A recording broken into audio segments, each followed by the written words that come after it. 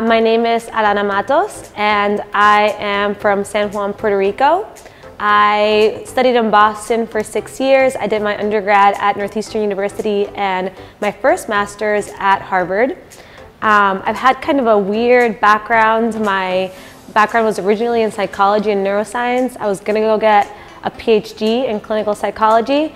And then one day I went to hackathon and called my parents and told them I was gonna start a company.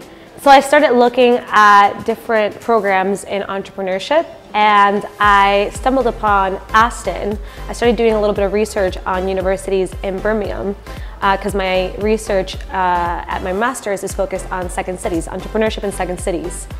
And I found Aston Business School and what I really liked about the program that I thought was a little different than other ones, even in London or elsewhere, were two things. One, that it was a one year intensive program because I wanted something that was really focused and really um, like a 12 month intensive.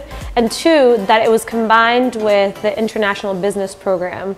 Because I feel like a lot of the programs that are focused on entrepreneurship in the United States, where, where I went to school, are very US focused. And I don't think that's necessarily representative of entrepreneurship across the world. So I really wanted to find a program that had that international business focus. And I started looking at the coursework and it was exactly that. It was entrepreneurship courses, studying entrepreneurship, but also a lot of international business, looking at emerging markets, looking at uh, Europe as a place where you can go set up a company. So that's what really interested me about the program.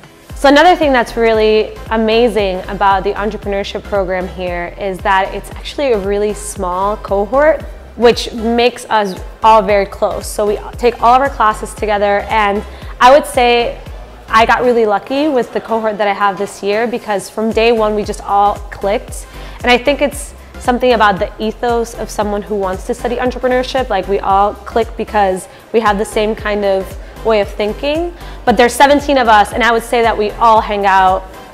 Every single member of the staff is there to help you.